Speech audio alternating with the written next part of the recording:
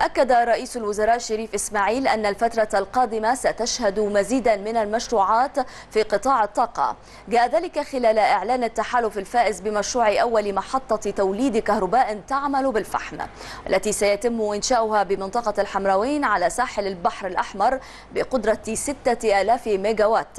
وخلال مؤتمر صحفي عقد بمقر مجلس الوزراء أكد إسماعيل أن الاعتماد على مصدر واحد من الطاقة يمثل نوعا من الخطورة. من جانبه أعلن وزير الكهرباء محمد شاكر أن هناك خطة استراتيجية للطاقة في البترول والكهرباء حتى عام 2035 لافتا إلى أن بناء المحطة يستغرق سبع سنوات.